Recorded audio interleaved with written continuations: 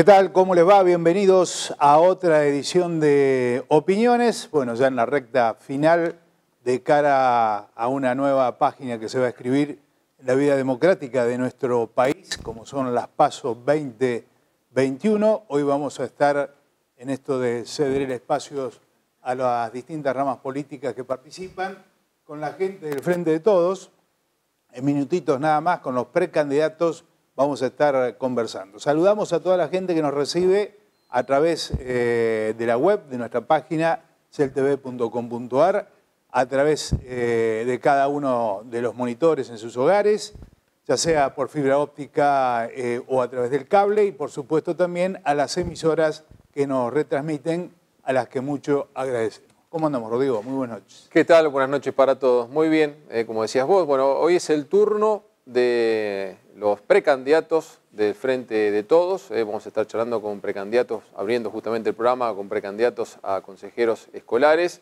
Y después, bueno, vamos a estar en los distintos bloques ya metiéndonos en los eh, precandidatos a concejales. Entre ellos, bueno, no, es concejal, sino es precandidato en este caso a diputado provincial por la sexta sección, que va a estar acompañándonos en el último bloque, eh, Gustavo Tranques.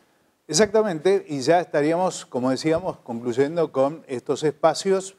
Eh, mañana ya eh, rige la, veda, o sea que no, no se puede hablar de política ni puede haber actos relacionados con la política. Así que vamos a tratar de aprovechar al máximo el tiempo eh, de lo que resta de esta jornada. Así es, le vamos a dar la bienvenida. Vamos a comenzar por, por la dama, con Lorena Bataglia. Lorena, buenas noches, bienvenida. Bueno, y también lo vamos a, sumar a quien encabeza, eh, digamos, como precandidato en primer lugar, consejero escolar, que es Luis Quintana. Luis, buenas noches. Buenas noches, Rodrigo. Buenas noches, Miguel. ¿Qué tal? Gracias por la invitación. Bueno, Luis, eh, hablamos fuera de cámara, ¿no? Eh, militante desde muchos años. Sí, sí. Y, y, esta es la primera vez que incursionás directamente en política participando en, una instancia electoral? Sí, es la primera vez, si bien en Avellaneda era parte de un movimiento nacional y popular que trabajamos juntamente con el intendente Ferrares y hoy ministro de Hábitat, pero sí, la primera vez en una lista, la verdad que sí. ¿Y por qué, digamos, qué, te llevó a esta altura de, tu vida, de tu profesión, eh, dar ese paso hacia adelante? Me imagino que habrá llegado la propuesta. Sí, sí, vino la propuesta de compañeros y compañeras, la verdad agradecido, y de Gustavo Trankel. Eh, y bueno, la verdad que un desafío, uno lo, estaba, lo está haciendo, estoy como director todavía de la escuela técnica y, creo que uno, a veces hay mucha gente que opina que la política o los que se ingresan a la política o la política es mala, corrupta, etcétera, etcétera.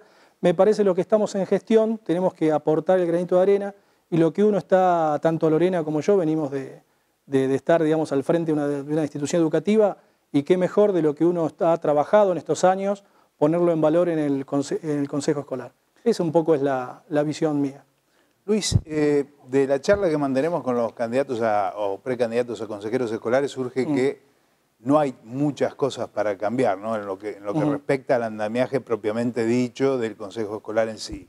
Eh, ¿Vos opinas lo mismo? ¿Crees que hay cosas que se pueden modificar? ¿Se puede lograr otra dinámica de trabajo? Yo creo que siempre se puede mejorar. No, no estoy diciendo que el Consejo Escolar no funcione, sino que me parece, y un poco esa es la idea de lo que quiere aportar o lo que queremos aportar juntamente con Lorena a partir del 10 de diciembre. Es darle una vuelta de rosca, como decía vos, Miguel, desde el punto de vista, por ejemplo, eh, de aprovechar por ahí mejor los fondos, de, por ejemplo, el otro día cuando empezamos con una, eh, el tema de la presencialidad completa, por el tema del nuevo protocolo, eh, eso vino aparejado, recordemos que en las instituciones los bancos eran bipersonales y ahora se ubicaba un solo, alumno. Con eso, obviamente, las instituciones no teníamos cantidad. La escuela técnica es un poco especial en eso porque al tener los talleres, digamos, fuimos, fuimos reparando y armando.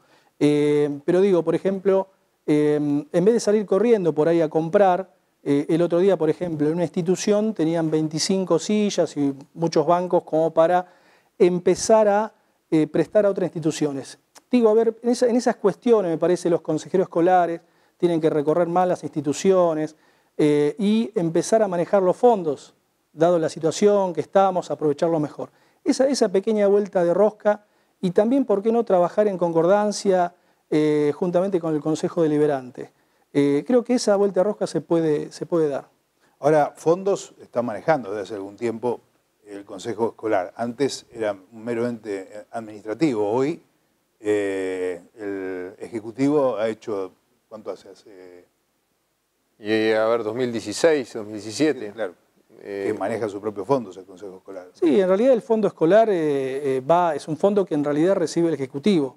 Y es nosotros como directivos cuando pedimos algo al Consejo, el cheque lo vamos a retirar a, tesorería del Ejecutivo y tenemos que rendirlo a nuestras cooperadoras en, el Ejecutivo, digamos, en tesorería. sí, el tema del... En realidad eso lo maneja el, intendente. Sí, obviamente el Consejo Escolar tiene que propiciar y, fomentar el tema de los gastos, Digo, no, pero digo, la decisión en sí la toma el consejero escolar hoy por hoy. Sí, está bien, puede ser, pero el tema que, lo, o sea, el, cheque lo vamos a buscar al, municipio. O sea, puede ser que lo, tomen ellos. Eh, nosotros, yo te digo, yo cuando he solicitado algo, eh, el cheque no lo voy a buscar al, consejo escolar, lo voy a buscar a la tesorería. ¿Mm? Eh, pero digo, más allá de eso, me parece que lo que decíamos al principio, digamos, uno puede, me parece, darle una vuelta de rosca y empezar a hacer un trabajo coordinado. Me parece que eso lo podemos llegar a, llegar a hacer. Coordinado, vos decís, entre el Consejo Deliberante, bueno, el Consejo Deliberante no maneja fondos, entre el Ejecutivo, en este caso el Consejo Sí, pero a veces, a veces no es solamente, Miguel, el tema de manejar fondos. El tema me parece de propiciar, por ejemplo, eh, a ver, eh, cuando se repara una escuela, yo te hablo de muchos años para atrás, eh, año 87, por ejemplo, yo hice un curso de gasista instalador. Eh, y nosotros, ¿qué hacíamos? Yo estudiaba en la escuela técnica y después iba a, con un profesor y varios alumnos a un jardín infante, donde hacíamos y íbamos aprendiendo haciendo. Especie de pasantía, digamos. Exactamente, ya en esa época, eh, donde aprendimos, en la época del liturgio estoy hablando, donde hacíamos las roscas, todo, y la obra hacíamos, obviamente había una persona, un gasista instalador que, por supuesto, era el quien firmaba y todo eso, ¿no? Pero digo, de esa, vuelta de rosca estoy hablando, ¿no? De, aprovechar mejor los fondos en ese, en ese sentido. Creo que se, por eso digo, a ver, yo no, me estoy quejando, pero lo que digo es que se podría llegar a, aprovechar los fondos eh, y esto de dar trabajo. ¿no? A veces yo escucho a los candidatos eh, o los precandidatos decir no quiero que los jóvenes se vayan. Bueno, parte me parece es esto, ¿no? Del centro de formación es, una, es, un algo que, que, tiene que dinamizar estas cosas y, ¿por qué no, empezar a trabajar en conjunto con el Consejo Escolar en estas prestaciones. O sea que los mismos alumnos que van pasando en el, centro de formación profesional, ¿por qué no empezar a armar inclusive cooperativas? Y estas cooperativas presten servicio eh, al consejo escolar. ¿no? Me parece que esa vuelta rosca se puede dar. Una mayor articulación, digamos. Exactamente, eso es lo que nosotros eh, proponemos con, Lorena eh, y aprovechar mejor los fondos. Yo creo que eso es, primordial en estos momentos. Por ejemplo, una de las cosas que hoy eh, tenemos es el tema del transporte, el cual lo agradecemos al municipio, de chicos que vienen no solamente de Torquín, sino que vienen de Saldungaray y Sierra La Ventana. Una de las cosas que estuvimos charlando con los vecinos en Saldungaray y en Sierra es por qué no aprovechar y poner un anexo de la técnica allá. Con eso nosotros, eh, a ver, los fondos que se está gastando en transporte serían aprovechados para traer chicos de otro lado. Tanto Digo, digo la técnica y, por qué no la agraria también, ¿sí? que son las únicas escuelas de educación técnico profesional que em, serían las únicas digamos, que podrían establecer alumnos de otros lados. ¿sí? Eh, por ejemplo, estuvimos en Tres Picos, donde los alumnos o sea, no, no pueden venir a la técnica, en Chasicó, en Pelicurá, ¿por qué no darle una oportunidad? ¿no? En esta parte, digo, de por ahí gestionar un poco mejor los fondos, ¿no? Y articulando, ya te digo, no, no, no necesariamente, y con gente de acá, con gente que ya tenemos acá y aprovechando el centro de formación. Lorena, eh, bueno, lo hablábamos fuera de cámara, ¿no? Y te, consultaba también, me, decías, eh, militante de alguna manera, pero no tal vez comprometida como estás ahora dentro ya de, un espacio político. Sí, no, en realidad em, la militancia que uno hace, en el caso mío particular, siempre fue en la intimidad de mi hogar. O sea, uno elige un modelo eh, y apoya un modelo eh, y quizá lo habla con amigos o con familiares, pero nunca esta posibilidad que tengo ahora de, haberme involucrado eh, desde el momento que me convocaron, que preguntaron por ahí cómo venía la mano, qué opinaba, si me animaba, si no. Yo estoy a muy poquito de jubilarme, así que es un desafío muy grande. O haber salido quizá de la zona de confort en la que uno estaba para involucrarse y realmente empezar a trabajar y a comprometerse eh, por algo que cree que vale la pena. Eh, así que bueno, yo estoy, estoy feliz, estoy entusiasmada, muy comprometida, con muchas ganas de trabajar. Eh, no sé si se va a dar o no que el 10 de diciembre pueda entrar al Consejo Escolar, pero de no ser así, el compromiso sigue estando y una vez que uno empieza este camino de hablar con la gente, de conocer. No pudimos conocer muchas instituciones por un tema de protocolo, o sea, este, este año no, no, pudimos entrar a, los establecimientos educativos, pero se empieza a familiarizar y a poner en contacto con gente de cooperadora, con padres, con alumnos, eh, saliendo un poquito del trabajo mío. Y, está bueno, está bueno porque ves otras realidades, eh, estoy muy contenta. Y tenés aparte una, mirada, bueno, igual que Luis, una mirada externa de, muchos años dentro, digamos, del sistema educativo que también te hace evaluar un montón de situaciones, más allá de este presente, ¿no? Yo tengo en realidad casi 23 años de, antigüedad en la docencia. Eh, en estos momentos estoy en Torquí como preceptora, pero hasta el 2016 eh, yo cumplí funciones en el Jardín 909 de Tres Picos como directora. Eh, casualmente coincidió con toda la gestión de Gustavo Tranquels, eh, con la mía, así que fueron siete años de, trabajo y de gestión donde uno realmente ahí como directivo em, empieza a ver y empieza a valorar el trabajo que hace el Consejo Escolar para con las instituciones. No solo los consejeros, sino también el personal auxiliar y administrativo que es genial, se ponen al hombro eh, todas las problemáticas y todas las necesidades que los establecimientos tienen y de alguna manera eh, son un gran soporte para, los consejeros. Muchos temas que la gente desconoce por completo, ¿no? Exactamente, es un trabajo interno que cuando vos llegás ahí, yo hacía mucho que no subía las escaleras, eh, ya te digo, por una cuestión de que al estar acá tengo un directivo y no, no, no necesito ir. Eh, pero los chicos están a full con todo, eh, te reciben, solucionan. Eh, la verdad que es muy lindo el lugar para trabajar. ¿Qué, es, si hubiera un tema en particular que te preocupa, un poco lo, que le preguntábamos a Luis, ¿no? ¿Por dónde iría, digamos, la, idea de comenzar a trabajar junto al Consejo Escolar institucionalmente hablando. Sí, yo lo que creo, em, y el otro día lo había comentado, em, yo insisto en que por ahí dentro de cada espacio tiene que haber pluralidad. Pluralidad de ideas, de puntos de vista.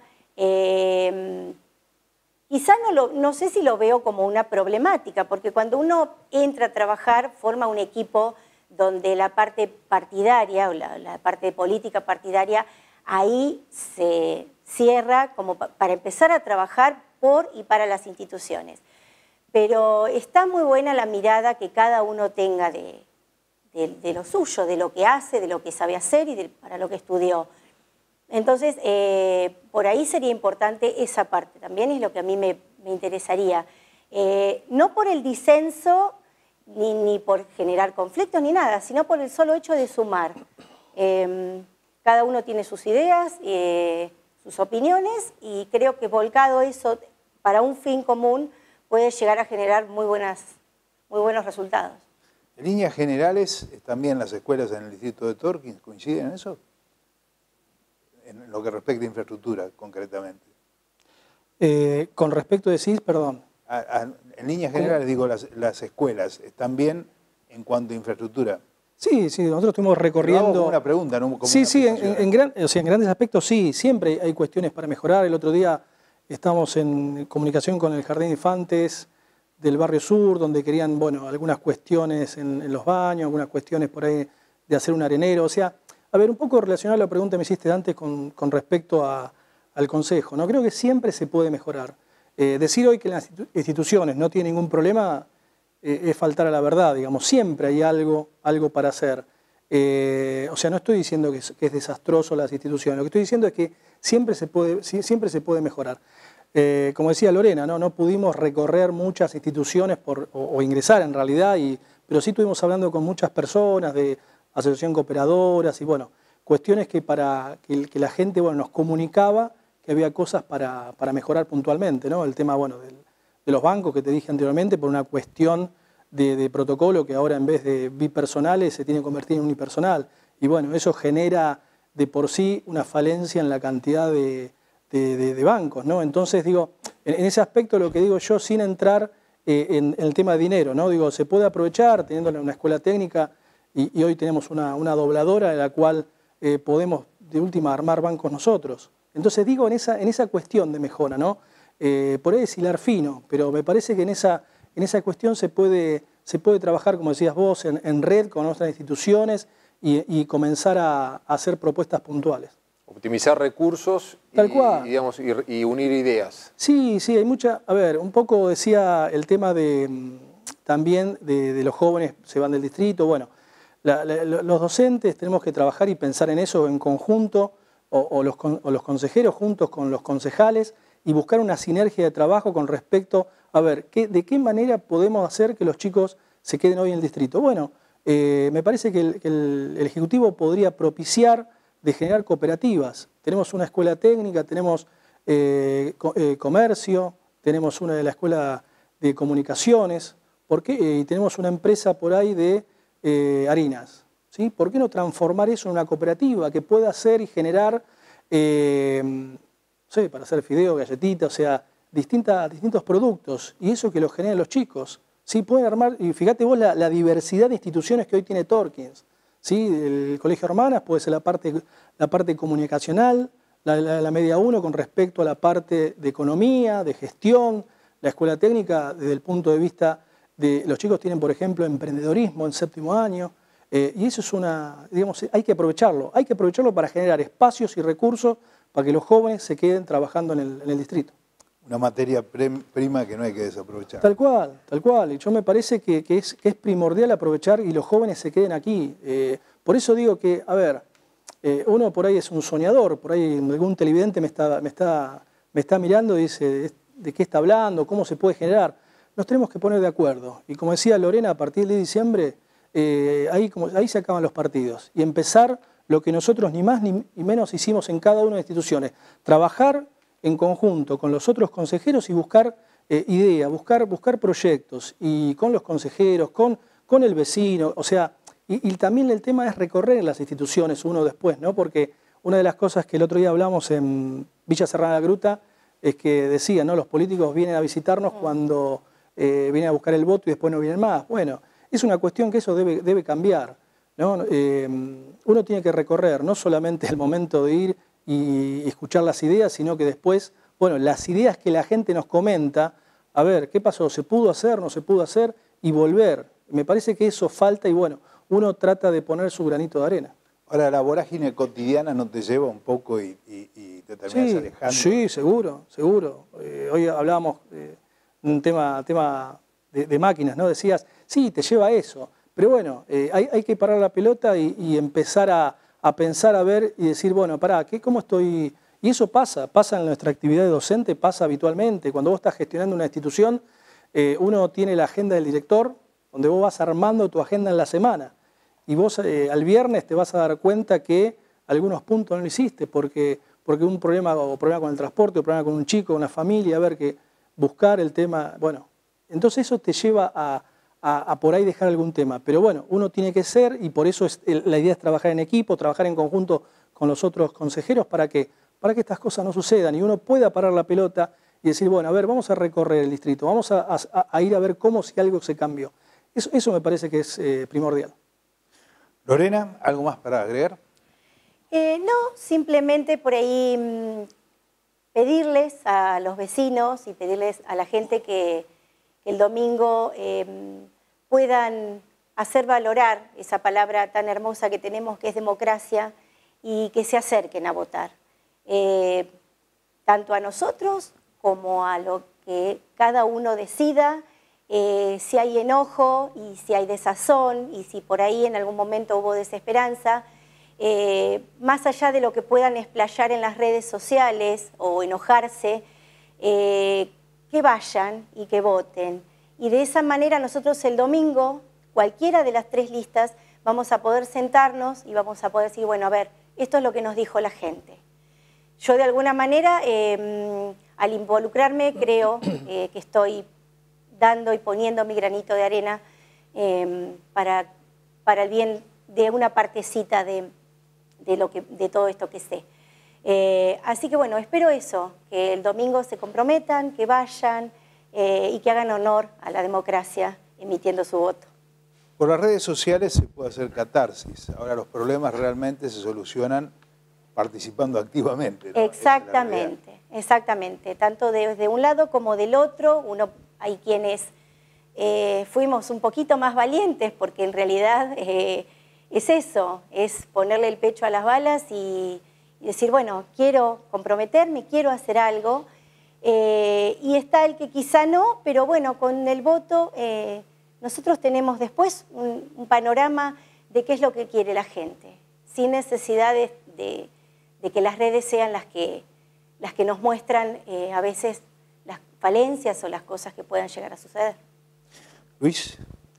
Bueno, un poco lo que decía Lorena, que la gente vaya, vaya a votar, que, a veces se habla tanto de república. Bueno, hablar de república es esto, ¿no? Cada dos años tiene la oportunidad de, decirle al gobierno, bueno, bien, hiciste las cosas bien o, no, y que vota, y que la elección sea la que elija el pueblo. Eh, a veces yo escucho en los medios, no quiero extenderme mucho, pero a veces habla o he escuchado que las pasos se gasta mucho dinero.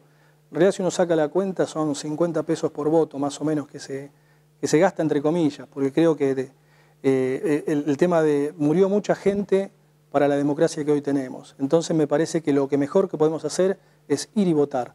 Eh, y bueno, y agradecerle a la gente eh, un poco lo que decía Lorena con respecto que elija la esperanza, que, que sea un voto con ilusión y que vote al que el mayor lo represente. Si es en el caso nuestro que lo representamos, excelente.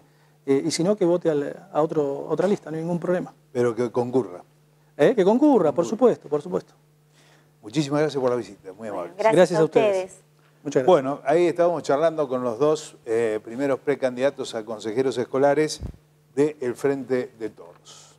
Bueno, vamos a compartir la pausa. vamos a, meter después ahora a charlar con precandidatos a concejales y después nos va a quedar un bloque más para ahí vamos a tener también eh, de invitado al precandidato en noveno lugar eh, como diputado provincial por la sexta sección, eh, Gustavo Tranquels. La pausa, ya volvemos.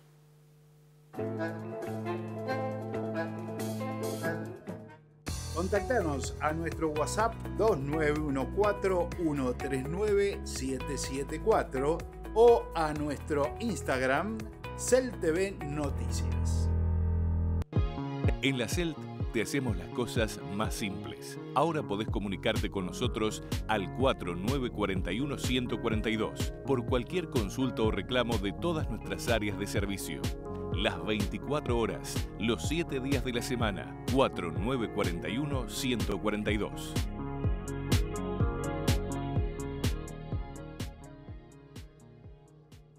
Somos los que queremos que nuestros hijos tengan un futuro mejor somos los que creemos que los valores no se negocian.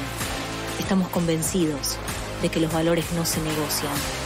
Somos los que perseguimos un sueño, los que entendemos que esto lleva tiempo y que a veces esperar ese tiempo cuesta mucho. Somos los que sabemos lo que falta y también lo que se hizo. Somos todos los que creemos que se puede vivir mejor. Somos todos los que seguimos creyendo que cambiar es posible.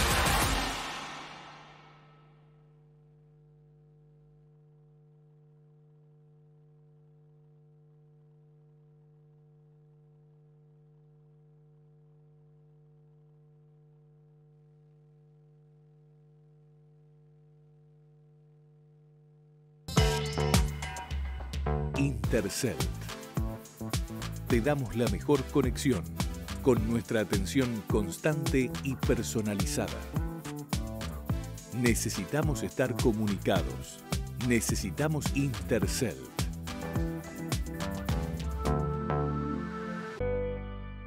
Hace un año todo cambió. Nos enfrentamos a una pandemia que nos alejó de los lugares que más nos gustan. Hoy tenemos la oportunidad de volver a la normalidad. Para festejar ese gol. Para rematar ese punto. Para sentir el calor de la gente. Y estar donde queremos estar. Para volver a alentar al equipo. Y volver a abrazarnos. Si sos mayor de 18 años, anotate en tu club para recibir la vacuna. Anotate. Vacunate.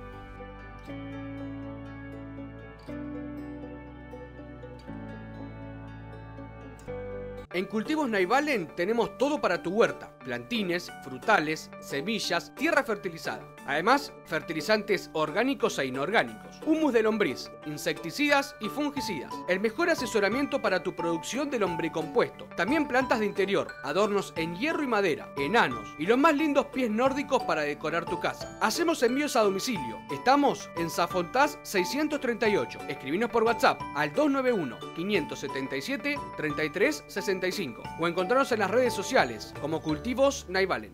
Un viento fresco vendría. Frente de todos, Torquis. Lista 2. Fuerza, juventud y compromiso.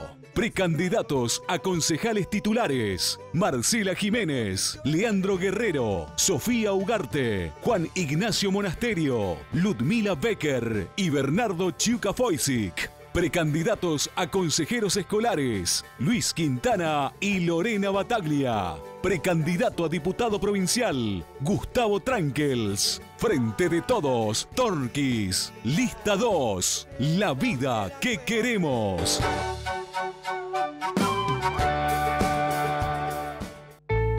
¿Cómo optimizar el funcionamiento de tu servicio Wi-Fi?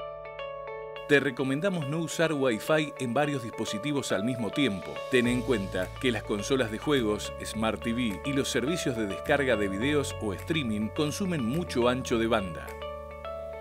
Conecta todos los dispositivos que puedas con el cable Ethernet.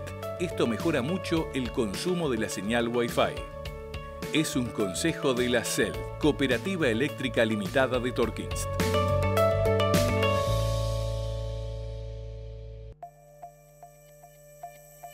En la era de la comunicación y la tecnología, trabajamos día a día para mantenernos en constante crecimiento y brindarle a nuestros asociados un servicio de calidad. Generando más conexiones, adaptándonos a nuevas tecnologías, manteniendo la cercanía con el usuario mediante nuestro soporte técnico especializado. Área de telecomunicaciones de la Cooperativa Eléctrica Limitada de Torkins.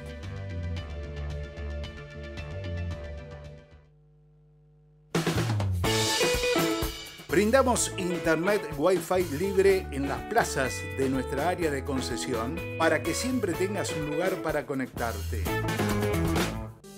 Somos Acción por Torkins, un nuevo espacio para continuar trabajando por los vecinos del distrito. Este 12 de septiembre, vota Acción por Torkins. Presentamos candidatos a concejales y a consejeros escolares, es decir, solo una lista única a nivel municipal. Entonces, ¿cómo votamos?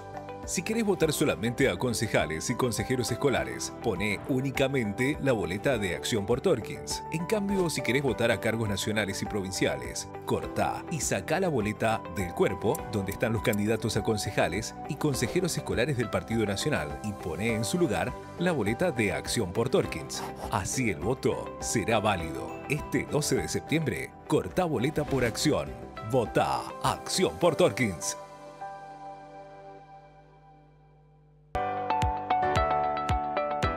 Principio cooperativo. Las cooperativas proporcionan educación y capacitación a sus socios y empleados para contribuir a su desarrollo. Cooperativa Eléctrica Limitada de Torques.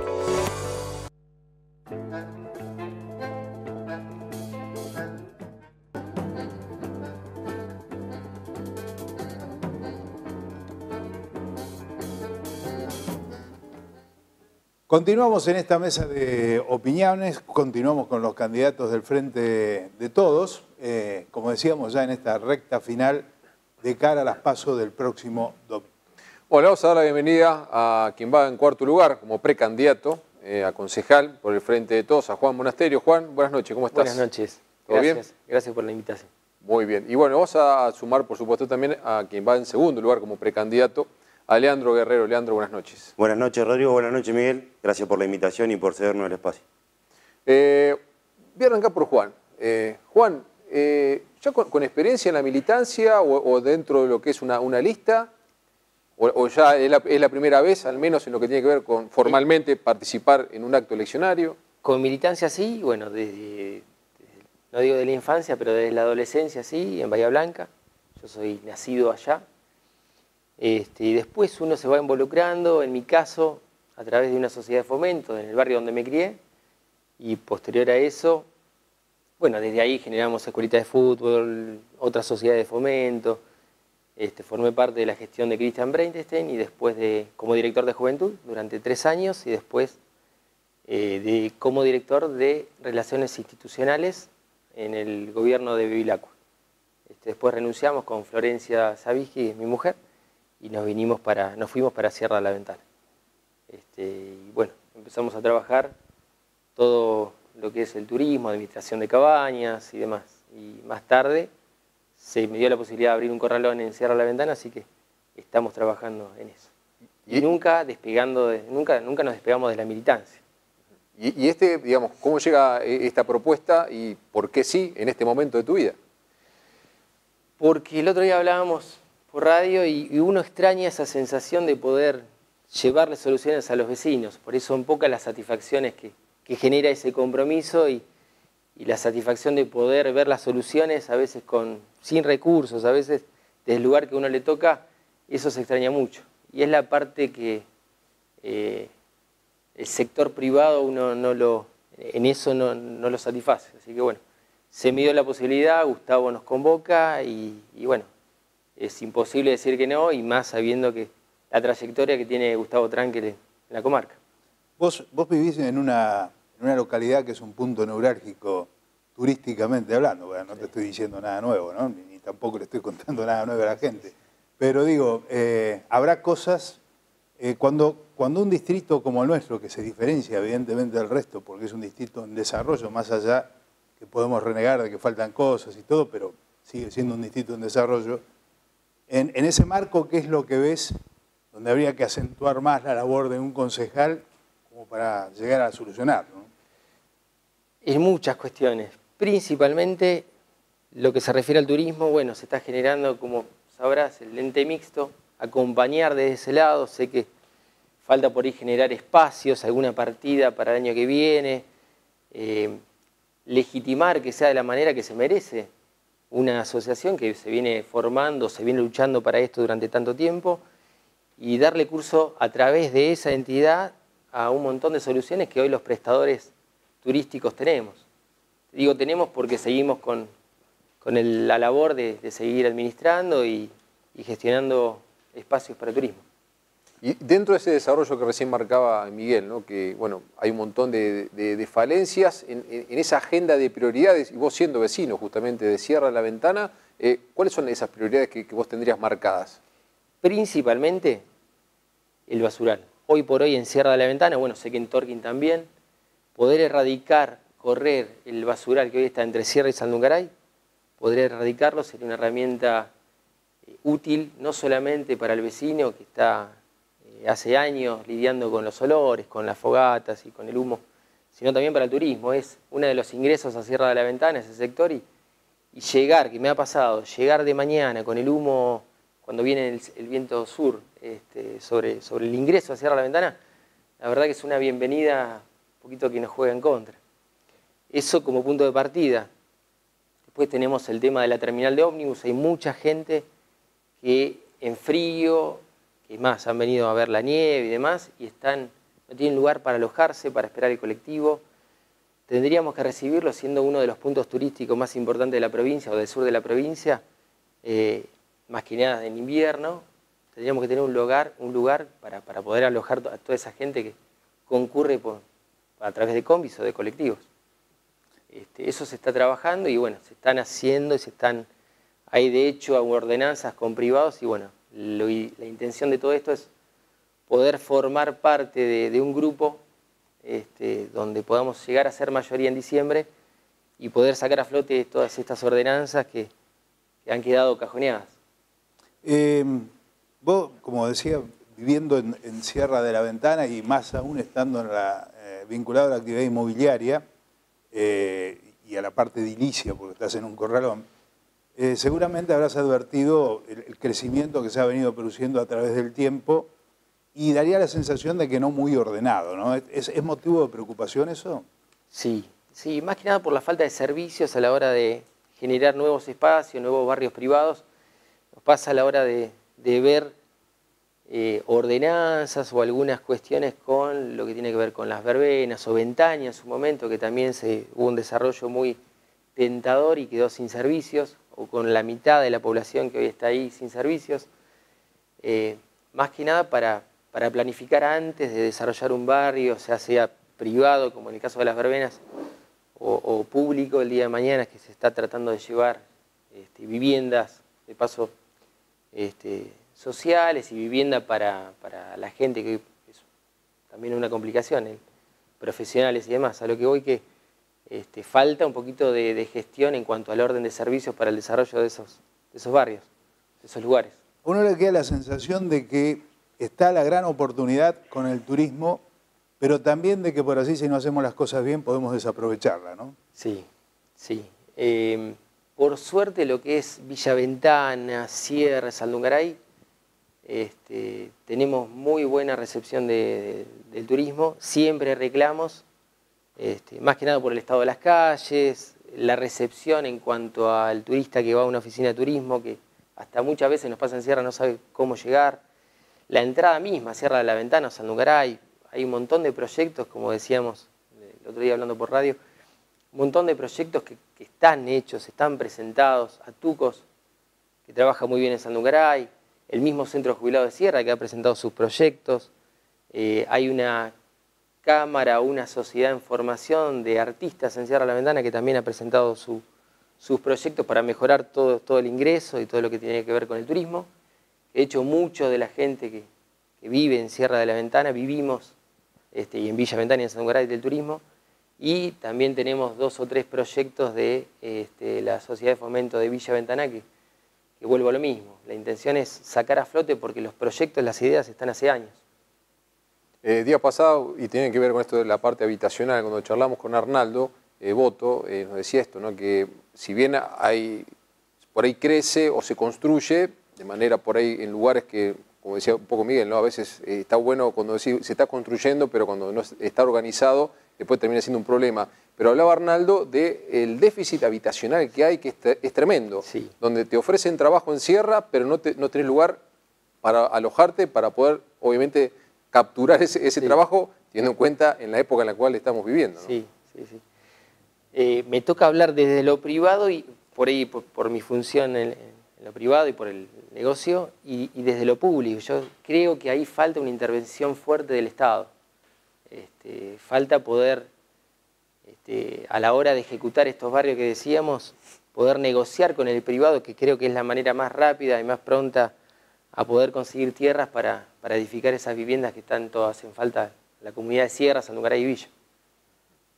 Esos son pedidos a gritos de, la gente. A ver, en todo el distrito, pero digo, en esos lugares, un poco por lo que decía Rodrigo y explicaba Arnaldo Boto el otro día, que realmente suponíamos de que no era tan complicado, pero evidentemente lo es y hoy no es que se puede esperar mucho tiempo. Sí, va de la mano con lo que hablábamos, por ahí planificar antes de decir que sí un proyecto privado con mucho auge.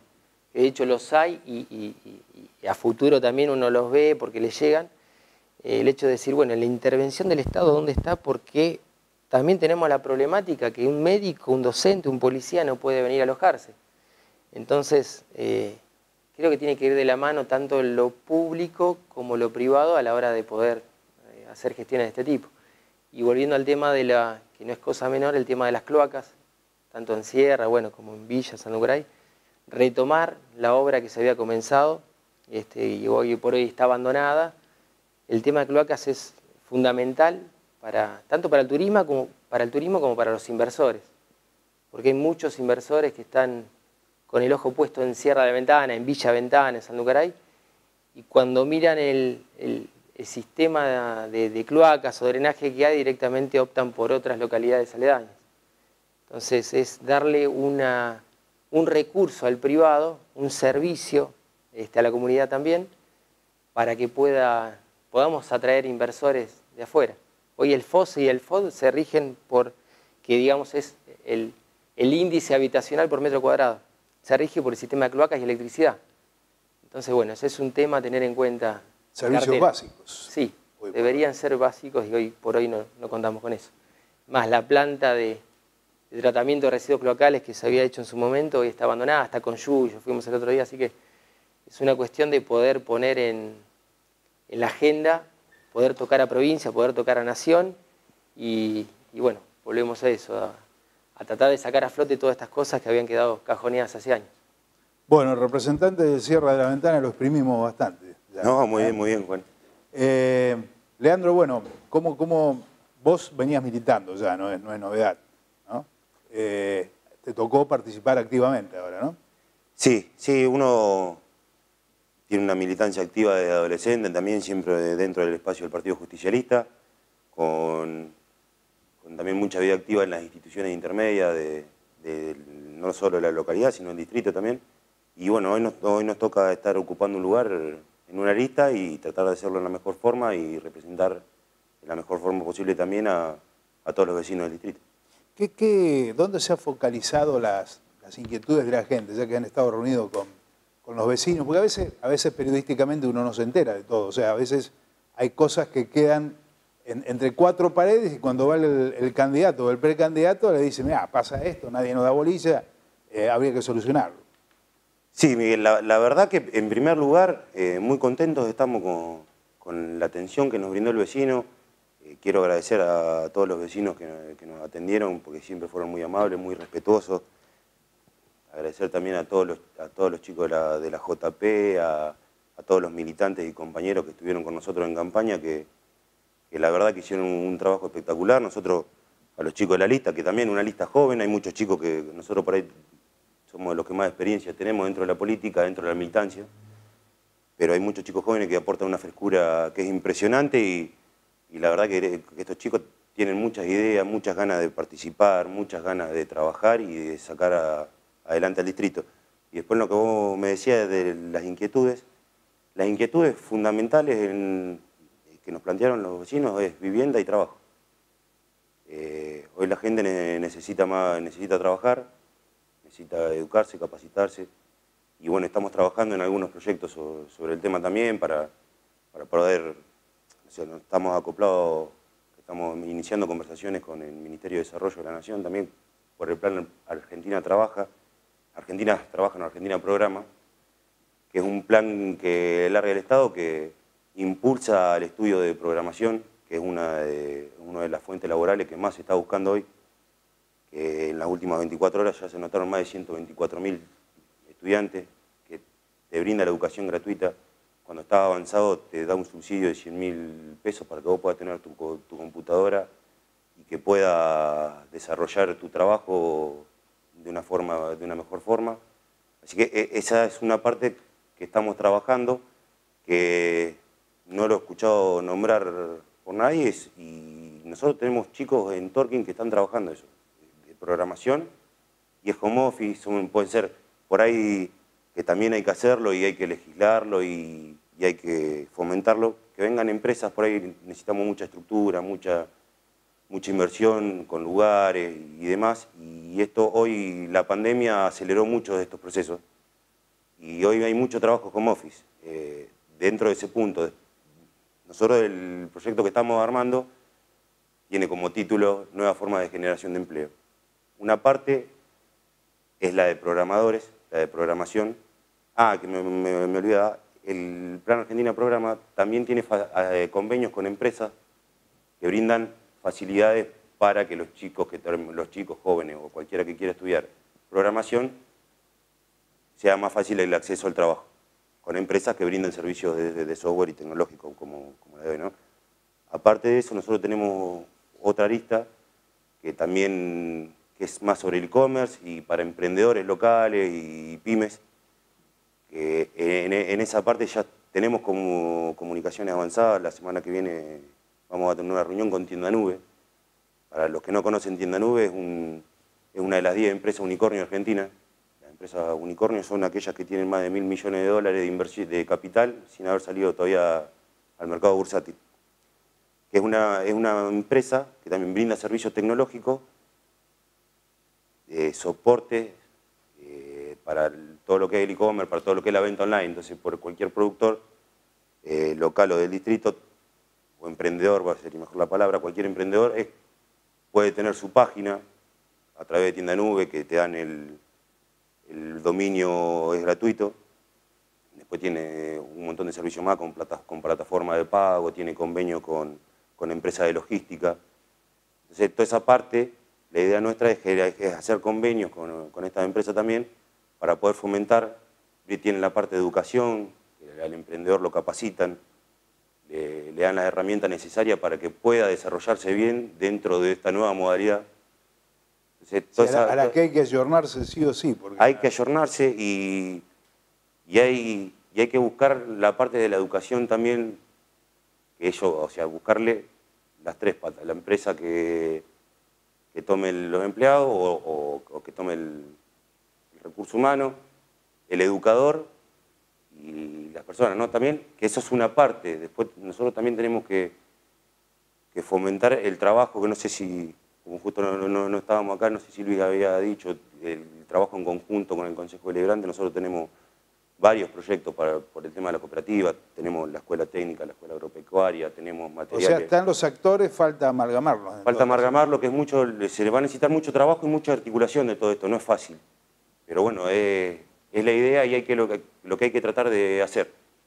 Hoy la gente nos pide, los vecinos nos pide trabajo y está bueno poder eh, tener ideas y llevarlas a cabo y seguramente vamos a tener que trabajar con el Ejecutivo, porque estas cosas eh, vamos a tener que trabajar todos en conjunto para poder sacar adelante el distrito y generar fuentes de empleo sobre ese tipo. También, eh, justo te, te nombré estas dos, pero también ah, hay otra, otra, otra propuesta para generar empleo. Entonces, creo que es, es válido, que es el camino, que tenemos que trabajar entre todos para, para poder sacar... Leo, eh, te damos todo el espacio del mundo si vas a hablar de, de propuestas de generación de empleo, porque en realidad es lo que está haciendo falta.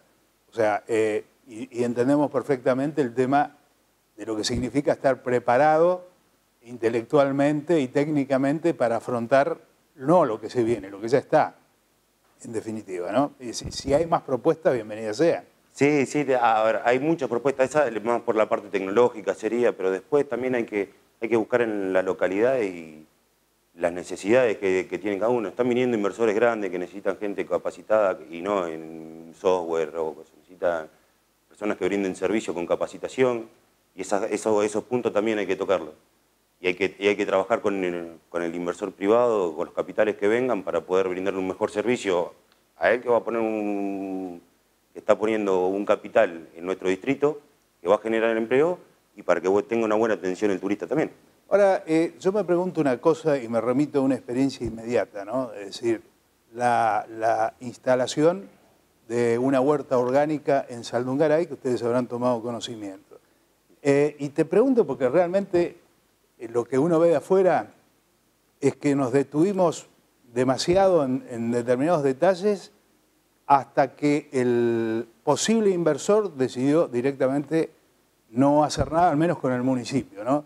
Eh, que no nos vuelva a pasar lo mismo. O sea, que en todo esto, que venga un inversor y les animo Ahí, Miguel, hay, hay que ver, a ver, en ese tema, puntualmente, pasaron tres semanas de que se le va el proyecto hasta que se pone en comisión, y se puso en comisión, no se dijo que no. Hay que ser seis hectáreas y media de tierra, de municipales. A ver, si la propuesta, yo no digo que hay que decirle que no, ni mucho menos. Hay que analizar cada propuesta también. No, pero yo, ver- yo voy a lo siguiente. eh, a ver, no me quería. Igual, por lo que escuché hoy en la radio, la, la empresa va a venir a Torquín igual, va a tomar gente local. Dijo. Pero va a ser con un, con un privado, no con un... Está bien, pero digo, eh, cuando hay un inversor de estas características, independientemente de que el Ejecutivo va a presentar el, digamos, el pedido correspondiente, el legajo correspondiente y demás, yo, concejal, tengo que salir corriendo a buscarlo para tratar de que no se vaya. O sea, para tratar de que me genere 4, 5, 10 puestos de trabajo. A ver, eso es lo que, viéndolo de afuera, eh, a lo mejor me equivoco, pero eh, de golpe uno dice, necesitamos mano de obra. Viene una empresa que te puede generar mano de obra, no sé qué cantidad de gente. Cinco puestos de empleo, creo. Bueno, cinco puestos de empleo, más todo lo periférico, que seguramente también eh, van a ser empleos también genuinos. Tratar dentro de lo posible de de no esperar porque lo mandó el intendente de turno. No, yo concejal salir a la cancha y a buscarlo, decirle, flaco, mira, te falta tal papel. ¿Me entendés? O sea, eso, es lo que uno ve de afuera. Y, temo, porque todos estos proyectos que ustedes eh, están relatando, que no choquemos con ese tipo de inconveniente, ¿no? No, Miguel, a ver, lleva un trabajo todo, todo esto. Te vamos a poner del otro lugar, del concejal. Vienen y te dicen, hay que, ah, vamos a hacer 6 hectáreas y media del predio del matadero municipal para una huerta orgánica que va a generar cinco puestos de empleo. Lo primero que decís vos cómo es. También hay que, hay, que ver cómo es. Yo no, a ver, te vuelvo a repetir, para, está buenísimo que se genere un puesto de empleo y, es lo que nosotros, lo que nosotros pregonamos aparte.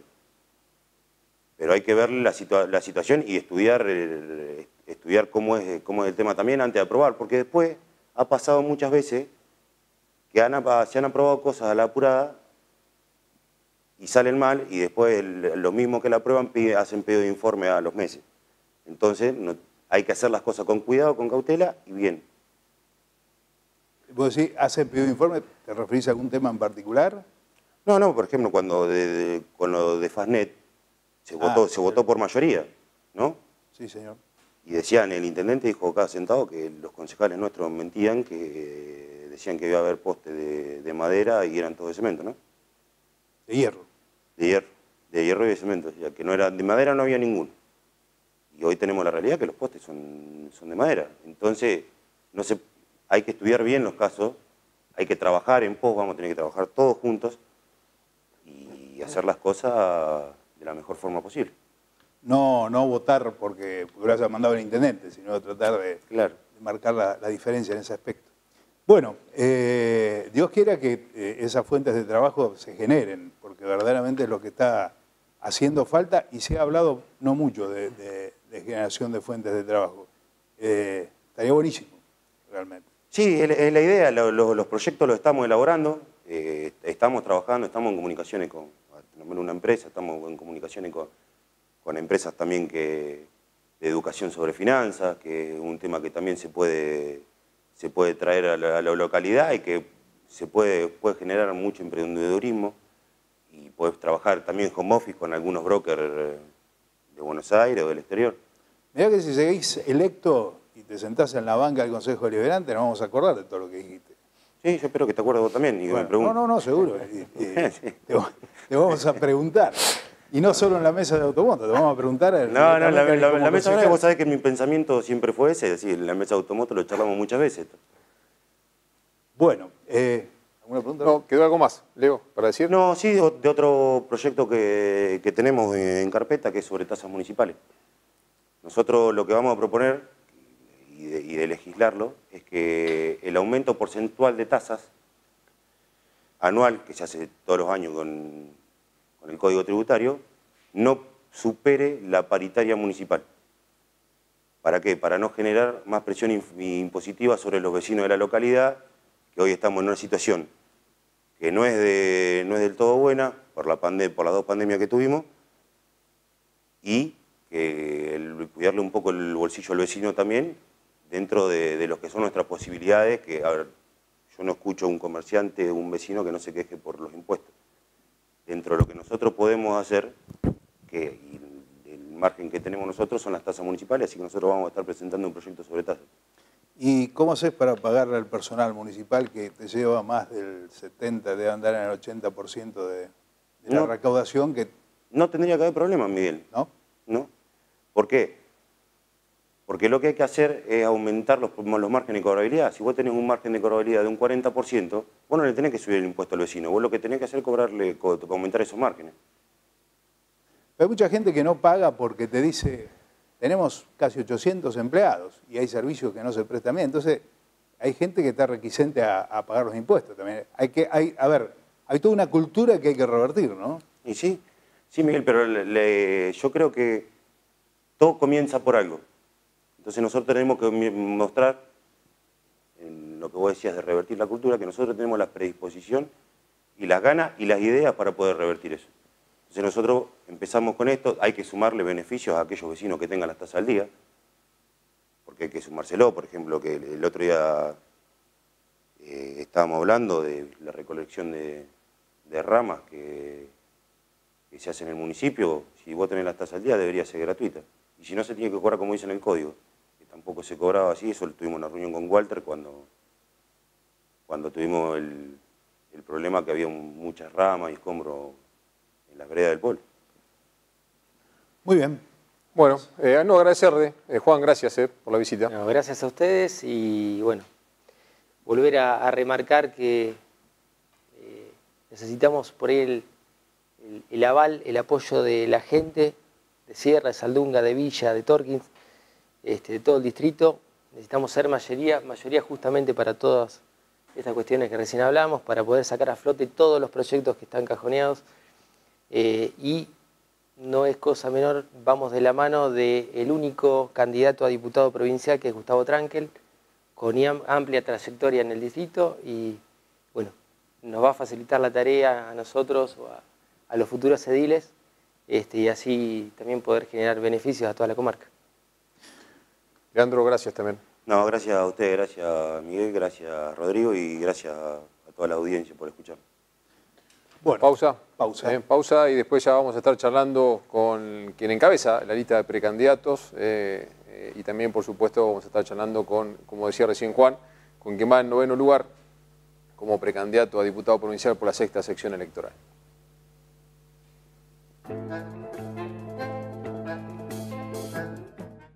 Contactanos a nuestro WhatsApp 2914-139-774 o a nuestro Instagram CelTV Noticias. En la CELT te hacemos las cosas más simples. Ahora podés comunicarte con nosotros al 4941-142 por cualquier consulta o reclamo de todas nuestras áreas de servicio. Las 24 horas, los 7 días de la semana. 4941-142.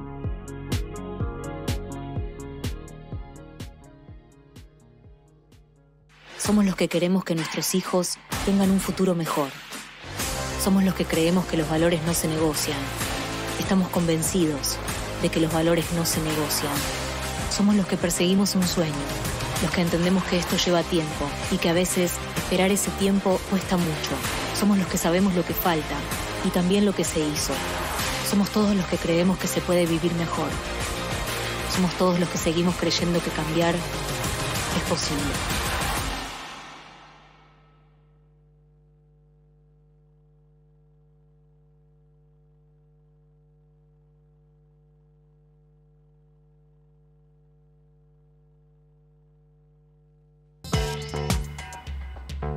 Intercelt.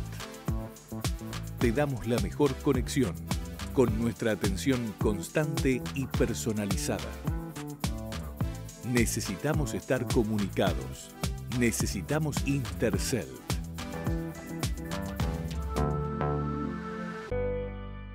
Hace un año todo cambió. Nos enfrentamos a una pandemia que nos alejó de los lugares que más nos gustan. Hoy tenemos la oportunidad de volver a la normalidad. Para festejar ese gol. Para rematar ese punto. Para sentir el calor de la gente y estar donde queremos estar. Para volver a alentar al equipo. Y volver a abrazarnos. Si sos mayor de 18 años, Anotate en tu club para recibir la vacuna. Anotate. Vacunate.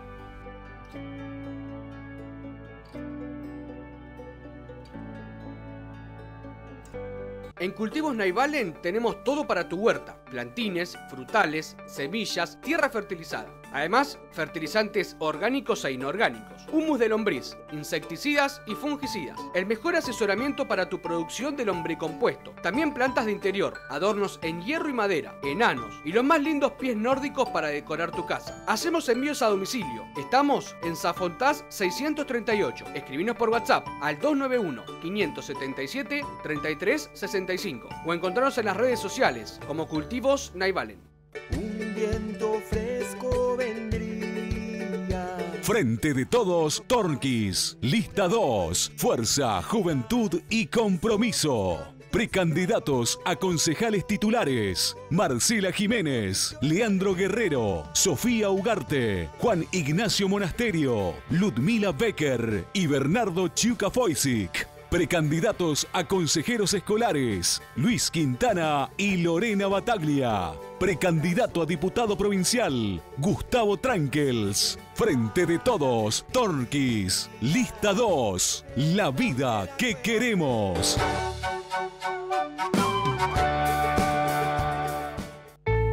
¿Cómo optimizar el funcionamiento de tu servicio Wi-Fi? Te recomendamos no usar Wi-Fi en varios dispositivos al mismo tiempo. Ten en cuenta que las consolas de juegos, Smart TV y los servicios de descarga de videos o streaming consumen mucho ancho de banda. Conecta todos los dispositivos que puedas con el cable Ethernet. Esto mejora mucho el consumo de la señal Wi-Fi. Es un consejo de la CEL, Cooperativa Eléctrica Limitada de Torkins.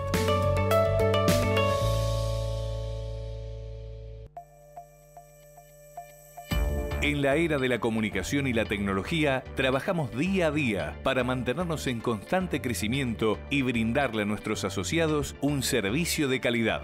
Generando más conexiones, adaptándonos a nuevas tecnologías, manteniendo la cercanía con el usuario mediante nuestro soporte técnico especializado. Área de telecomunicaciones de la Cooperativa Eléctrica Limitada de Torkins.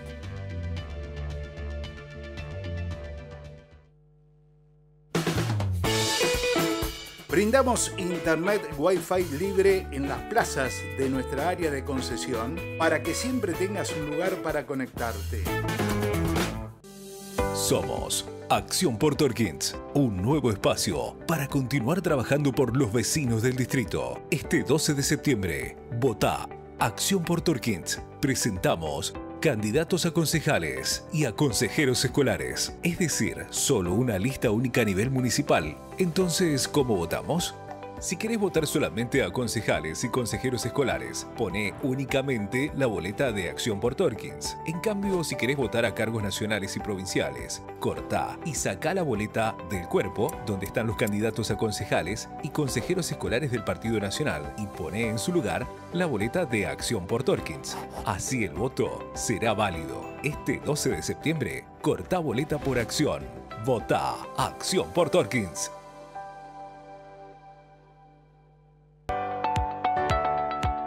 Quinto principio cooperativo. Las cooperativas proporcionan educación y capacitación a sus socios y empleados para contribuir a su desarrollo.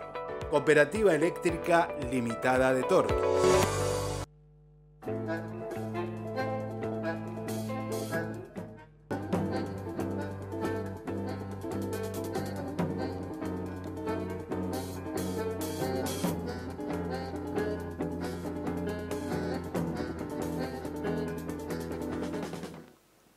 Bueno, estamos en la recta final, último bloque de esta etapa que forma parte de, lo que corresponde, por otra parte, como medio periodístico, darle el espacio a los candidatos de las distintas franjas políticas. Vamos a, presentar a los invitados en esta ocasión. Bueno, le vamos a dar la bienvenida a quien encabeza esta lista de, del Frente de Todos como precandidata, Marcela Jiménez. Marcela, buenas noches. Bienvenida nuevamente. Y también eh, le vamos a, a, sumar a quien va eh, como precandidato en noveno lugar, eh, como diputado provincial por la sexta, a Gustavo Tranques. Gustavo, buenas noches. ¿Qué tal? ¿Cómo les va? Un gusto compartir el programa y con todos los televidentes también. ¿Qué, la, qué la, la primera sí. vez que viene Gustavo. Gustavo ya... No, que viene para cerrar el... el claro, y claro. sí, sería la primera vez, claro. claro. Está bien. Eso sí es la primera vez. Esa es la primera vez. Está bien, está bien. Eh, ¿Qué cambió, Marcela, de la última vez que viniste? Casi fue para presentar la, la lista eh, en su momento, ¿no? De- dándose a conocer la situación. a- Espera que hablo yo porque Dale, si no estamos- dale, dale. Eh, mientras los chicos van, van acomodando, por- había un ¿Estamos? micrófono ahí. Ya estamos, ya estamos. Cuando ustedes digan, ¿eh? cuando ustedes digan, tranquilos, eh, estas cosas es muy habitual que pasen, de que algún micrófono diga por ahora no, así que darle, darle un tiempito. Eh, trabajando en la parte técnica, ya va a quedar solucionado. Eh, ¿Podemos, podemos ir con Gustavo, si no?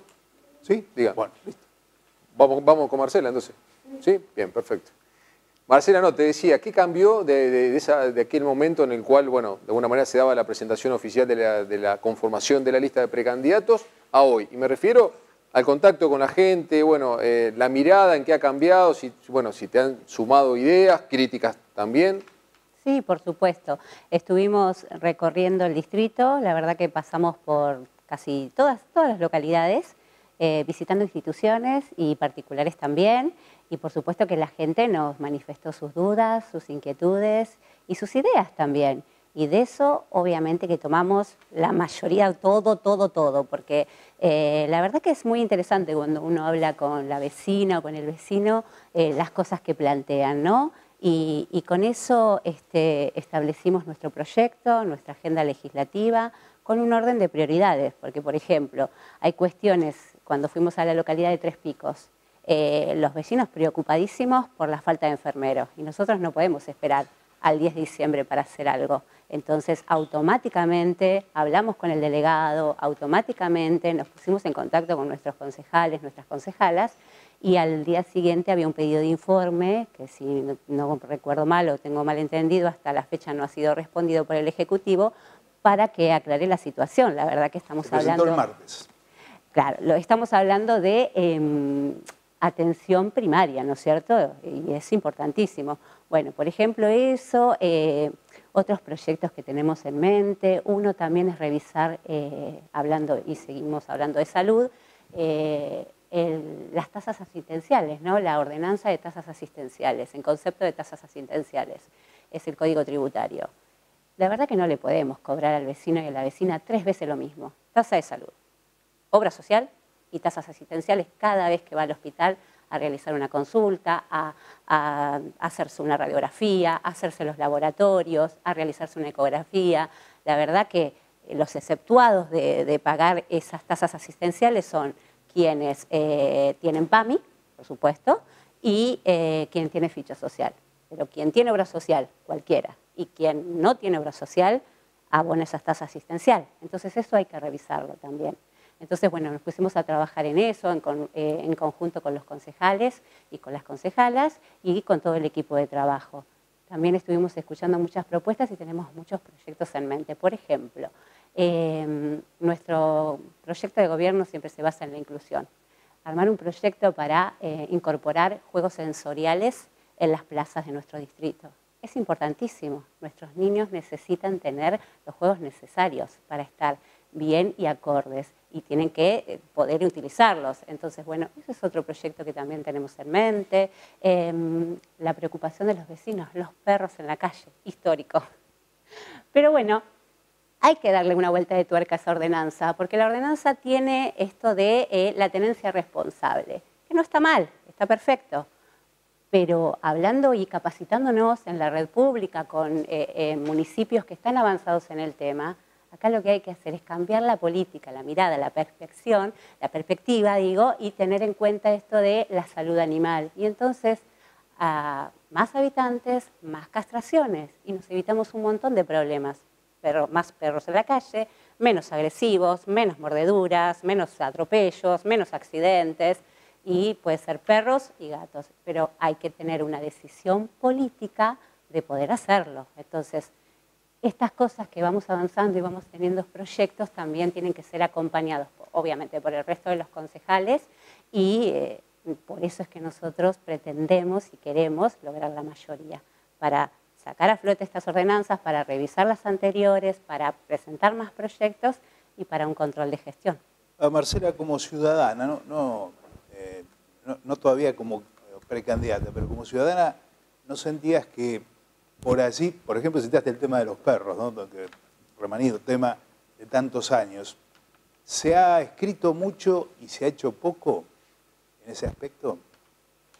Y en esto te vuelvo a repetir, tal vez eh, hay que revisar las ordenanzas, hay que fijarse si son viables y poder cambiar la perspectiva. Y también nosotros somos mayorías, minorías hace mucho tiempo. Y la verdad que para eso necesitamos ser mayoría, para el control de gestión. Quien tiene que hacer cumplir las ordenanzas es el Ejecutivo Municipal. Eh, es el rol del concejal, exactamente, el control de, gestión. Eh, siendo mayoría o minoría. Es decir, eso no debería cambiar absolutamente nada. ¿no? Claro, pero quien debe hacer cumplir las ordenanzas es el Ejecutivo Municipal. Obviamente que la voz es, el, es del Consejo y, pretendemos eso también, porque, a ver, no pretendemos ser mayoría para un control eh, eh, terrible y para poner palos en la rueda, sino para la construcción. Esa sería la idea. Por supuesto. Y en eso trabajamos. Gustavo, eh, bueno, vos ya estás acostumbrado a estos escenarios, a estos climas que se viven. Por ahí, bueno, eh, el contexto distinto a todas tal vez las experiencias anteriores, en tu caso como precandidato y al resto de la población como, bueno, vos también vas a votar obviamente, pero me refiero, digo, al resto de, los habitantes del distrito, en particular el nuestro, eh, con muchas cosas por la cabeza, ¿no? Porque digo, en un contexto en el cual hablamos muchas veces en la semana con Miguel, en un principio que la gente por lo que uno puede observar a veces y charla, muchos realmente no tienen ganas de, ir a, expresar su, voto. Eh, por el otro lado, hay gente que, obviamente sí, eh, quiere, quiere hacerlo, quiere buscar un cambio, otros no, otros quieren seguir sosteniendo esta situación eh, porque están conformes con lo que se está haciendo hoy por hoy en la gestión. ahora, desde tu mirada, hoy por hoy, ¿qué se le puede decir más de lo que tantas veces se le ha dicho al vecino y que realmente se muestren como una opción para decir, bueno, mira, si estás disconforme, este es el camino. Bien, sí, primero nosotros lo que vemos es, estamos saliendo de una situación que fue compleja para todos, inusual, eh, salvo alguien de muchísimos años de edad, una pandemia es difícil que se vea, digamos, conversando con gente muy mayor, sí tenían la experiencia de la fiebre amarilla contada por algún abuelo, digamos, pero se había perdido la noción de lo que podía llegar a significar e implicar para la comunidad una pandemia, y a nosotros nos tocó como generación, más allá de la edad que podamos tener cada uno de los que estamos viendo el programa o participando, digamos, esta noche, eh, fue algo eh, novedoso que a cada uno nos pegó de alguna manera diferente, pero en general eh, trajo malestar a la comunidad. Hoy estamos en un punto en el que estamos saliendo de eso y la verdad que yo veo em, en muchísima gente eh, una, luz de esperanza, digamos. La gente eh, es como que vimos, eh, pasamos el mal momento y estamos saliendo y eso no se dio, digamos, de manera, todo, todo, todo ese paso por la pandemia costó muchísimas cosas. Ni hablar a las familias que nos tocó perder seres queridos, porque eso es irreparable, eh, pero también eh, hubo un Estado que estuvo muy presente a pesar de que eh, hubo quienes intentaron hacer una utilización política de la pandemia. ¿no? Ustedes recuerdan, digamos, para repasar rápidamente, se hablaba de que a la Argentina no iban a llegar las vacunas, Argentina fue uno de los primeros países en disponer de vacunas, a pesar de no ser un país de los denominados del primer mundo, ¿no? que fueron los que enseguida tuvieron la tecnología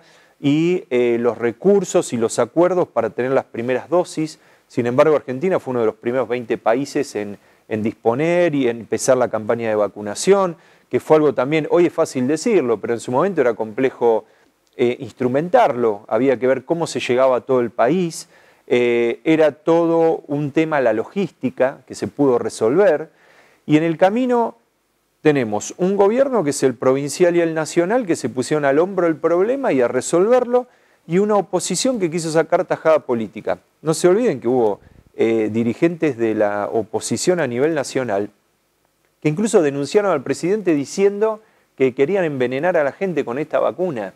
Eh, no, no, hay que olvidarse de eso, porque después salen y dan apoyo a la lista de la oposición. Eh, después dijeron que no iban a llegar las vacunas, después dijeron tantas cosas de esto.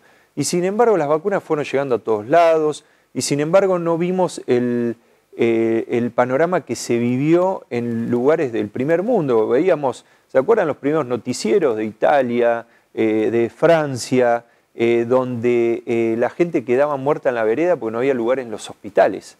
Acá en Argentina, cuando asume Alberto y Axel, teníamos un Ministerio de Salud que ya no existía, que el gobierno de Cambiemos se encargó de bajarlo a Secretaría, de sacarle recursos hospitales eh, que estaban listos en el 2015 y que no se inauguraron en cuatro años. Hubo que salir a, a crear 2.400 camas de terapia intensiva en todo el país. Es decir, fue un gobierno muy activo en ese sentido y todo ese esfuerzo, más el esfuerzo de la comunidad de hacer en la medida de lo posible cada uno la, eh, caso a las indicaciones que se nos daban, eh, más el esfuerzo de todo el equipo de salud, de cada uno de los pueblos, de cada punta del país. Entre todos se logró sobrellevar esa pandemia con un esfuerzo terrible y sin llegar a ese escenario que veíamos en países del primer mundo. Creo que eso es un logro que tenemos que compartir como comunidad y como dirigencia todos los que pusieron el hombro. Y sin embargo ahora llegamos a una elección donde tenés esos dirigentes que trabajaron para resolver el tema y tenés los que se la pasaron generando malestar, porque cuando se plantaban y decían que las, eh, vacunas eran veneno, generaron que mucha gente no se quiera vacunar. No nos tenemos que olvidar de eso. porque Todavía hay algunos que no se quieren. Claro, pero fue toda una campaña de esos mismos candidatos que ahora los ves en la boleta de, ahora, creo que Juntos por el Cambio, antes era Cambiemos, ahora Juntos por el Cambio. Entonces, y son juntos. Bueno, cambian el nombre, cambian de candidatos, pero, pero los mismos referentes políticos que nos decían eso ahora van y piden el voto. Entonces, eh, yo creo que el domingo es una gran oportunidad de em, poner las cosas en, su lugar, de demostrarle a la dirigencia también qué es lo que la gente valoró de todo este tiempo, de todo este proceso. A los que se jugaron por cuidar la salud, con sus eh, aciertos y sus, em, y sus problemas y sus errores, y a los que quisieron solamente sacar tajada política y no colaboraron en nada. ¿Se acuerdan que decían que había que convocar al ex, al ex presidente Macri para que ayude con sus contactos a conseguir vacunas? Y no consiguió una sola vacuna. Entonces, eh, creo que eso el domingo eh, la gente va a poner cada cosa en su lugar. Y me parece que está bueno que la democracia le dé una lección a la dirigencia que se comprometió y a los que quisieron usar aún una situación de pandemia para sacar un rédito político. De cualquier manera, ¿vos crees que la gente va a votar solamente por, lo que se hizo bien o mal en la pandemia? No, también va a votar por la esperanza. Eh, ¿Por qué? Porque vos fíjate que gana eh, las elecciones el actual gobierno nacional y provincial y se ponen a gobernar y a los tres meses caemos en la pandemia. Ahora estamos saliendo de la pandemia, es decir, ahora van a empezar a, poder hacer todo el plan de gobierno que había para el año 2019.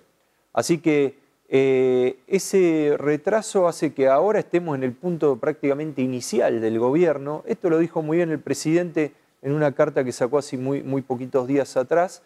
Y, está claro que ahora viene eh, un proceso de crecimiento en la Argentina. Ya hay algunos rubros que eh, lo evidencian claramente lo que falta es que ahora ese proceso gane en energía, en dinámica, y que el beneficio de ese crecimiento económico que ya están experimentando algunas áreas de producción y, de la economía de la Argentina, empiece a llegar a, toda la comunidad, que está muy golpeada. O sea, todos vienen con sueldos depreciados, con situación eh, que no ha sido buena durante este tiempo, más lo que quedó del gobierno anterior, que también hay que acordarse de lo que pasaba económicamente, y ahora tenemos la posibilidad de realmente salir de ese problema. ¿Qué es lo que necesita el gobierno? El apoyo desde la legislatura, porque también no nos olvidemos que cuando vas a votar el domingo tenés una lista que va a acompañar este proceso del, mismo equipo que, se puso al hombro la pandemia y el mismo equipo que ahora se va a poner, se está poniendo al hombro la creación de puestos de trabajo, eh, la, salida, digamos, la, el, resolver la deuda que dejó Macri en el 2019, eh, que necesariamente son temas que hay que volver a tocar porque la pandemia suspendió esos temas, pero ahora hay que volver a, negociar con el fondo, hay que resolver el problema de los 100 mil millones de dólares de deuda que dejó el gobierno anterior y la, deuda a 100 años, ¿no? Entonces, volvemos a esto de eh, qué vamos a elegir el domingo. Por un lado vas a tener el equipo que afrontó la pandemia y que además está afrontando todos estos problemas y que está poniendo a la Argentina de pie y que va para adelante en estos temas. Y por otro lado tenés la lista de los que eh, pusieron a los servicios dolarizados. ¿Se acuerdan de los aumentos de 4.000% en la factura?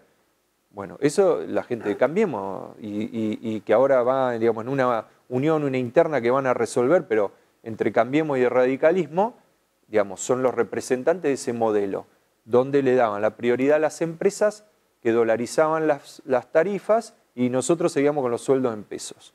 Los mismos que le sacaron los beneficios de eh, los remedios a los jubilados. A ver, cualquier jubilado que nos esté viendo que tiene PAMI, sabía que PAMI había dejado de cubrir. Eh, y tantas otras cosas de las que podemos hablar que fueron en detrimento del, pueblo. Eh, y por otro lado tenemos este gobierno que a pesar de, haber tenido tres meses de tiempos medianamente normales, por llamarlo de una manera, devolvió los remedios a los jubilados, especificó las tarifas para que no se nos vayan por las nubes mientras los sueldos están relegados. Eh, hace poquito estuvimos el miércoles con Máximo Kirchner, le pudimos agradecer personalmente.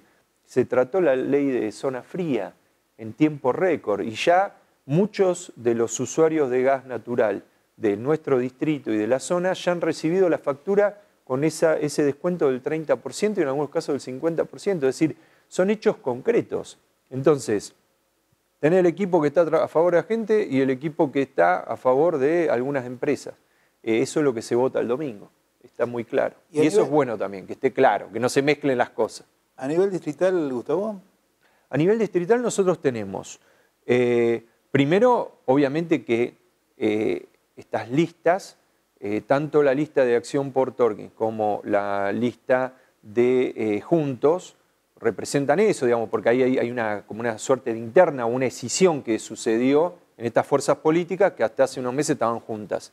Y por otro lado, es nuestro proyecto, que además en lo local... Ahora, ¿el proyecto de, de, Acción por Torqui no se acerca un poco más al, al peronismo? No, lo, lo único bueno que hubo en ese sentido fue el reconocimiento de que con el gobierno anterior les mintieron, porque el propio intendente lo dijo, ¿no? que María Eugenia Vidal y Macri eran mentirosos y que no habían cumplido con todo lo que le prometieron, y que el actual gobierno de Axel y de Alberto les había dado más cosas en un año y medio que el otro gobierno en cuatro. Entonces, ese reconocimiento para mí es algo positivo, porque realmente aparte sirve para que la gente se dé cuenta también del contexto ¿no? a la hora de votar. Eh, pero después, del lado nuestro, además del, proyecto que acompaña a la provincia y la nación para esta salida, digamos, hacia adelante de la producción, de la generación de trabajo, de la vuelta a una mirada de inclusión con la gente, eh, tenemos esto del equilibrio de poder, donde nosotros tenemos cinco concejales, donde muchas veces se les exige a los concejales que resuelvan temas que en realidad son del Ejecutivo, o que eh, se imponga como una voz, digamos, que eh, logre equilibrar fuerzas que no están equilibradas. Si nosotros ganamos la elección con nuestro equipo de concejales y tenemos la mayoría en el Consejo, ese equilibrio se puede dar.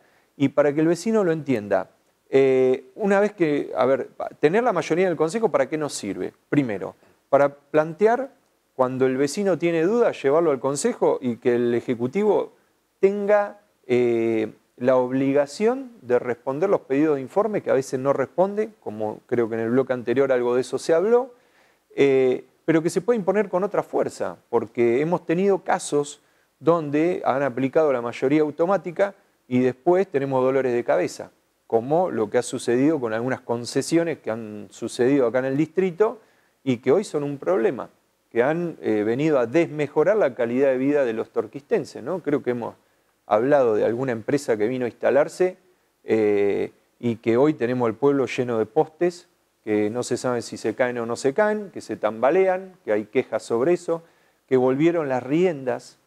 Eh, la gente grande que está mirando el programa se acordará de las riendas que había en el pueblo y lo que trabajó esta cooperativa eléctrica, que la verdad que siempre hay que sacarse el sombrero porque eh, la cooperativa eléctrica de Torquín es un orgullo, como también otras cooperativas como la de Chasicó, como la de Saldungaray, Sierra, el esfuerzo que hacen es realmente muy grande y les llevó años eliminar esos viejos postes de madera con riendas para que no se tuerzan y no se caigan eh, y reemplazarlos por postes de hormigón con bases, digamos, con, con otro soporte de estructura eh, para mejorar la calidad de vida, el impacto visual, la seguridad, porque volvemos, retrocedimos 50 años con una decisión mal tomada del Ejecutivo y acompañada por un Consejo Deliberante donde ellos tienen mayoría. Bueno, nosotros venimos a plantear una mayoría en el Consejo para que estos temas se discutan y antes de mandarse las macanas, digamos, que el tema se resuelva conversando en el Consejo Deliberante como tiene que ser para que después no nos duela la cabeza a todos. ¿no? La mayoría es también importante de cara al 2023, ¿no? Sí, en realidad nosotros queremos respuesta para los vecinos ya.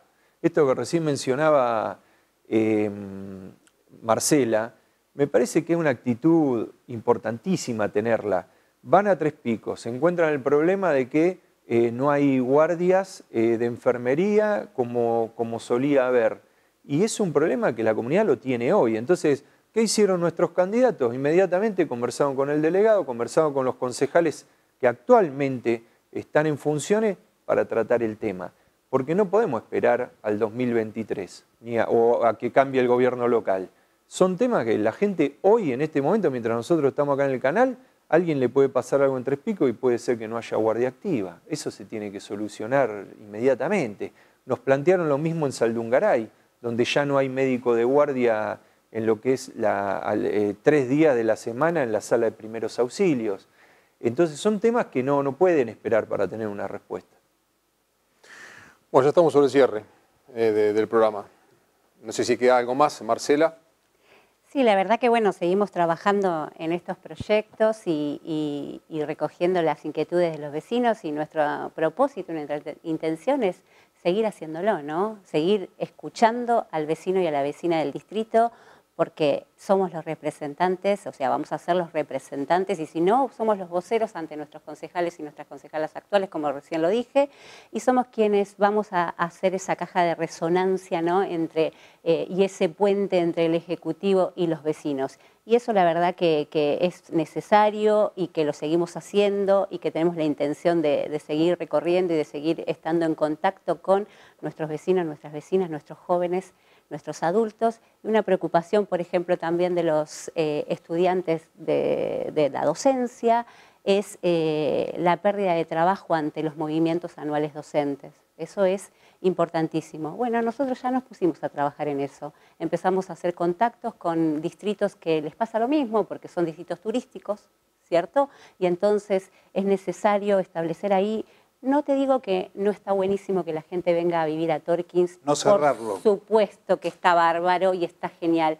Y no se habla de cerrarlo, pero sí establecer un cupo límite, porque nuestros docentes, los que se forman acá, nuestros ciudadanos, nuestros jóvenes, son los que también necesitan trabajar de, de lo que estudian, ¿no?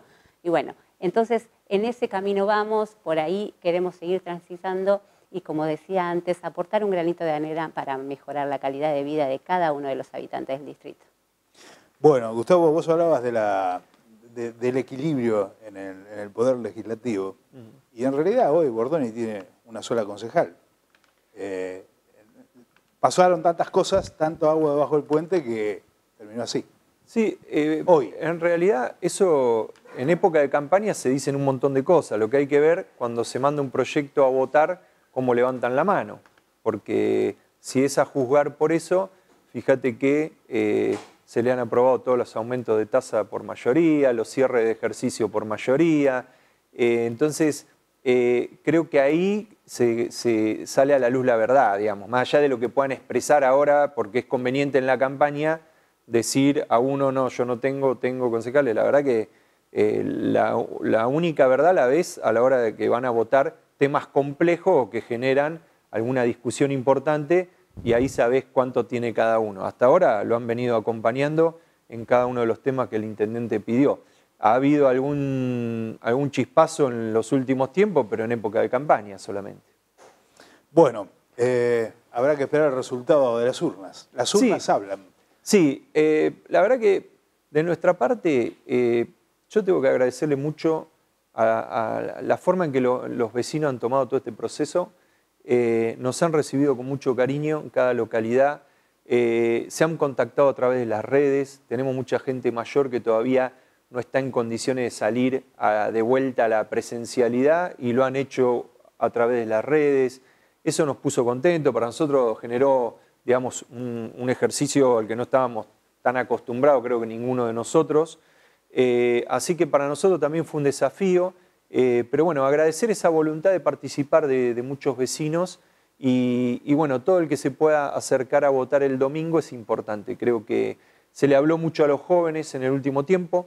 Nuestro proyecto político fue el que en el 2012 le abrió el derecho a los jóvenes de 16 a 18 años a votar, no la imposición, porque no es una imposición, sino que es un derecho, eh, y, y de hecho ellos tienen la opción de ir a votar o no, eh, pero también fue el modelo, el, el del Frente de Todos, el que elevó el presupuesto, que antes se acuerdan, el presupuesto de educación era el 1% eh, del presupuesto a nivel nacional, lo llevó al 7,2, es decir, multiplicó por 7 los recursos para educación.